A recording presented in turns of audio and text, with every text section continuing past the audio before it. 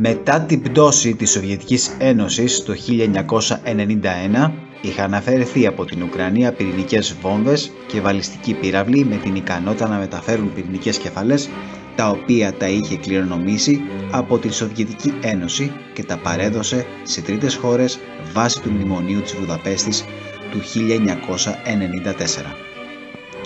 Το μνημόνιο της Βουδαπέστης υπογράφτηκε στις 5 Δεκεμβρίου του 1994 και είναι μια συμφωνία που παρέχει εγγυήσεις ασφαλείας στην Ουκρανία με εγκύτριες χώρες, της ΣΥΠΑ, τη Βρετανία αλλά και τη Ρωσία. Οι Ουκρανοί παρέδωσαν τα πυρηνικά και βρίσκονται αποθηκευμένα σε άλλες χώρες της πρώην Σοβιετικής Ένωσης όπως η Λευκορωσία. Άλλες χώρες που έχουν σταλθεί είναι η ΙΠΑ, Βρετανία, Γαλλία αλλά και στη Ρωσία δεν υπάρχει κανένα δικαίωμα χρήσης αυτών και ελέγχονται τακτικά από τη Διεθνή Επιτροπή Ραδιενέργειας.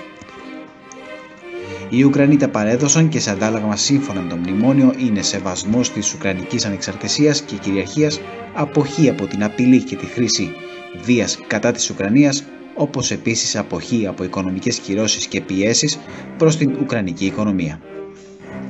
Από όσο καταλαβαίνουμε, η Ρωσία παραβίασε το μνημόνιο της Βουδαπέστης του 1994. Εάν τα πυρηνικά επιστρέψουν, θα είναι αποτρεπτικός παράγοντας. Από τη στιγμή που απειλούν οι Ρώσοι με πυρηνικό ολοκαύτωμα τρία χρόνια περίπου, τώρα επιπλέον θα έχουμε και τους Ουκρανούς. Προσωπικά περιμένω τα νέα χτυπήματα με βαλιστικούς πυράβλους Oresnik από τη Ρωσία να είναι σε γνωστές εγκαταστάσεις που έχουν τη δυνατότητα φύλαξης αλλά και χρήσης των πυρηνικών στην Ουκρανία.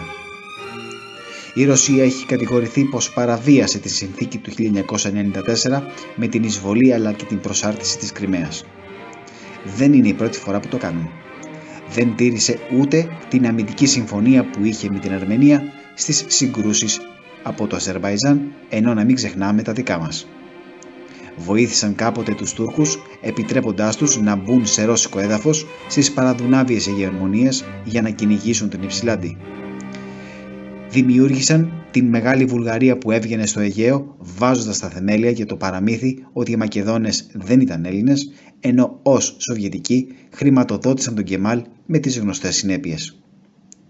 Όποιος γνωρίζει ιστορία δεν πιστεύει σε τηλεπαπάντζες και δεν περιμένει κανένα βάρβαρο ξανθογένος.